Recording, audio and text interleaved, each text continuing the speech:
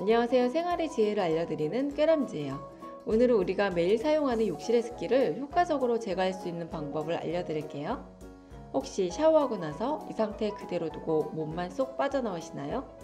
그런데 이 상태로 놔두면 아무리 환풍기 오래 틀어도 욕실이 잘 마르지 않고 물때도 금방 생기고 타일 사이 줄눈 부분에 때가 껴 금방 지저분해진답니다. 욕실 바닥에 때가 끼면 청소가 힘드니까 돈 들여서 줄눈 시공 따로 하잖아요. 그런데 이 줄눈도 습기 관리 제대로 안 하면 그 위에 물때가 끼거나 떨어지기도 해요. 특히 겨울철에는 뜨거운 물로 샤워하고 나면 수증기까지 더해져서 습기가 엄청난데요. 이 상태로 욕실이 습하다고 문을 열어두시면 절대 안 돼요. 이 습기가 온 집안으로 스며들어 집 전체가 눅눅해져서 곰팡이가 생기기 쉽거든요.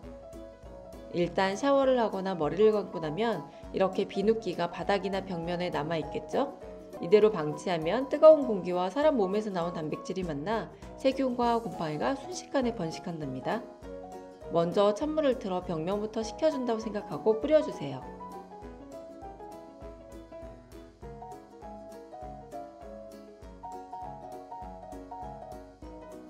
벽면을 다 하시면 바닥 부분도 아까 남은 거품과 때를 쓸려 보낸다 생각하고 찬물을 뿌려줍니다.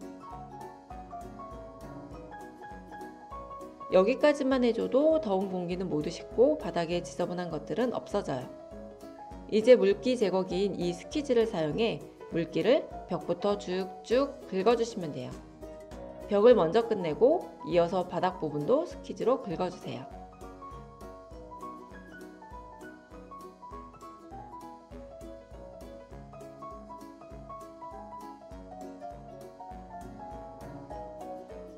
밀려오는 물 보이시나요? 저 물은 양이 너무 많아서 단순히 화장실 문을 열어놓거나 환풍기 튼다고 해서 금방 마르지 않아요.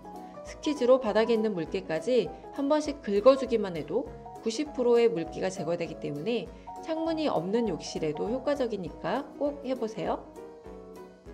찬물 뿌리고 스키즈로 긁어주는데 30초면 충분해요.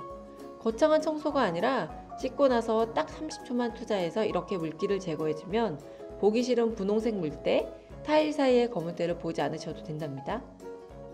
그리고 이 스키즈는 여기 이 자리에 걸어두시면 깔끔해요. 이 스키즈는 천 원 정도 하는데 가격도 참 착해요. 그리고 나올 때 환풍기를 꼭 틀어주세요. 환풍기를 틀 때는 문을 닫고 틀어야 습기 제거가 더 잘 된답니다. 환풍기는 냄새 제거에도 좋지만 습기 제거에 최고예요.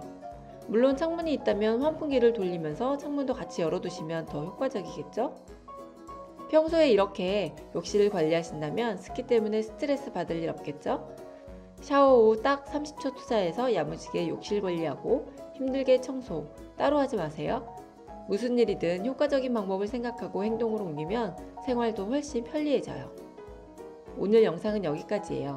이 영상이 도움이 되셨다면 주위 분들에게 공유해 주세요. 시청해주셔서 감사합니다.